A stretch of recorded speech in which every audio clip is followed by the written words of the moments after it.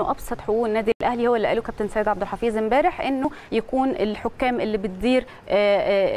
مباريات النادي الأهلي على قدر كبير من الاحترافية حكام دوليين. مع كامل الاحترام لكل الحكام بس على ما بياخد الحكم الشارة الدولية دي فيها خبرة كبيرة قوي قوي. والنادي الأهلي مش نادي صغير ده النادي الأكبر في إفريقيا وإن لم يكن الأكبر كمان في الوطن العربي كله. وطبعا إحنا بنتكلم على بطل أفريقيا ما ينفعش ابدا إن أنا أجيب حكام مش على قدر النادي الأهلي هي اللي تدير المباريات. خليني كمان أقول لحضراتكم إنه إدارة النادي الأهلي أرسلت النهارده الصبح خطاب لاتحاد الكورة المصري بتطالب فيه بالتدخل الفوري لإيقاف الأخطاء التحكيمية الفجة وغير المبررة واللي طبعا اتسببت في عرقلة مسيرة الأهلي وحرمانه من حقوقه المشروعة في المباريات السابقه وأكد النادي في خطابه إن الأخطاء التحكيمية اللي شهدتها بعض مباريات الأهلي في الدوري لم تقتصر فقط على حكام الساحة ولكن امتدت كمان الامر كمان امتد لحد حكام طبعا الفار اللي هو طبعا بيتم إلغاء أهداف صحيحة شفناها